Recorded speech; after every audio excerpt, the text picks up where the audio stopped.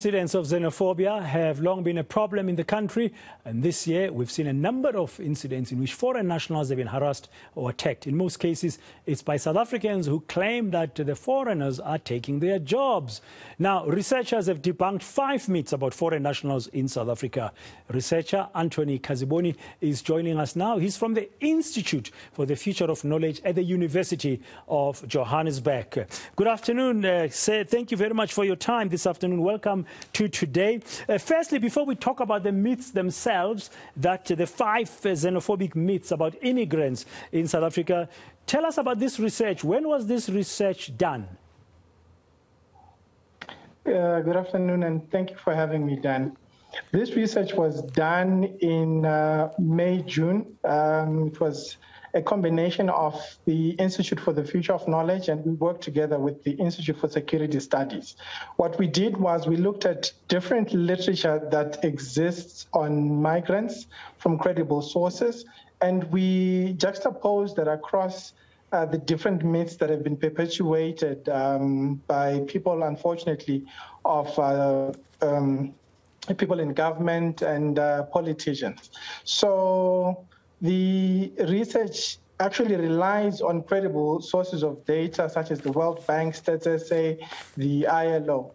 Okay, well, then one gets the sense that uh, it, is, it is from credible and authoritative sources that you've put together. I've seen the five myths. I just want us, for the benefit of our viewers, to go one by one so you can explain then what you found. The first myth is that South Africa is swamped with immigrants. What does your research show? So there's a common belief that uh, the immigrant population in South Africa is in the you know tens of millions. Uh, one politician once commented that there are at least you know 10 million undocumented migrants. So looking at uh, data from Statistics South Africa, Stats SA noted last year that there were 3.95 million migrants in South Africa. This includes both regular legal and irregular illegal migrants. And this is also supported by um, the United Nations, which did a study in 2019 and estimated that figure to be around 4.2 million. So by looking at that, you can get a sense of the number of migrants uh, that are there in the country, regular or not. Some people have noted that because of porous borders, we can't. But um, from Stats SA, the Chief Director for Demography and uh, Population, uh, Diego Iturralde, explained this at length, and he notes that the population growth in South Africa cannot and should not be attributed to immigrants, but rather fertility.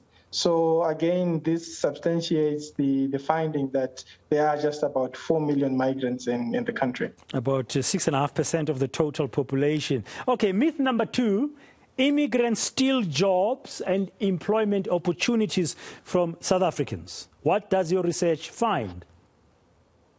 This is a very contentious one because there, there, there is a belief around migrants stealing jobs, and anecdotal evidence support that, supports that. And this is based on, you know, the areas that migrants co congregate. These are also areas in which you find um, struggling South Africans, disadvantaged South Africans. And, you know, when you look at the decent labor framework from the ILO, it indicates that migrants take jobs that don't uh, conform to the, the framework. So in terms of uh, statistics, a study done by the World Bank again notes that um, for every one regular migrant, one illegal migrant, uh, jobs for two South Africans are created. So it's important also to note that migrants that are in the country involved in business tend to hire South Africans. Okay. Myth number three, and just to, to, speed up a little bit in the interest of time, I want to cover all five. Fine. Immigrants contribute to or are responsible for high levels of crime. That's myth number three. What does your research show? So from the research, we looked at uh, figures that were provided by um, um, Justice Lamola. And these figures indicated that to an extent, there is a proportion of uh, migrants in the country's jail, but there is no evidence that supports that migrants are responsible for most of the crime. And this can also be supported by um, comments that were made by the police minister two weeks ago when he noted that the South African jail is full, and I quote, of South African men. And of the convicts that were there, 18,000 were only migrants out of the 544. Okay. And recently, Okay, we get the point. Uh, most immigrants are in the country legally. That's myth number four. Is that the case?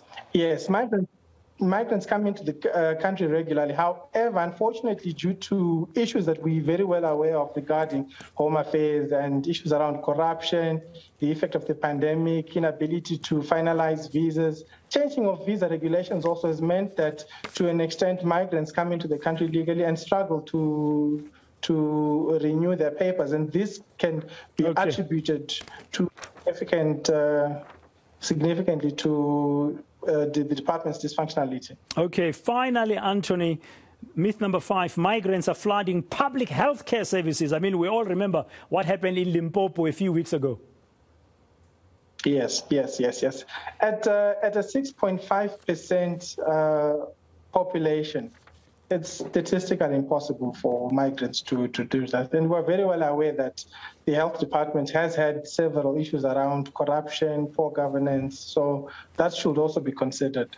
Yeah. So basically, your research will, will show that uh, there's a lot of scapegoating of immigrants in South Africa, which is not going to be helping in terms of addressing issues of unemployment, issues of rampant crime, and uh, healthcare provision, improved healthcare provision. Indeed so, indeed so. What we what we what we're calling for is responsible leadership. The statistics around migrants are there. And it's important to not scapegoat because it undermines uh, social solidarity, it undermines tolerance, and it undermines the constitution as well as the social fabric on which South African democracy is based on. We need to understand that uh, migrants aren't responsible for the current problems that we have, and the government needs to aggressively ensure that the triple challenges are mitigated. Thank you very much, Dr. Anthony Kaziboni. He's from the Institute for the Future of Knowledge at the University of Johannesburg, just sharing with us their findings into a look at the myths, the five key myths surrounding foreign nationals in South Africa.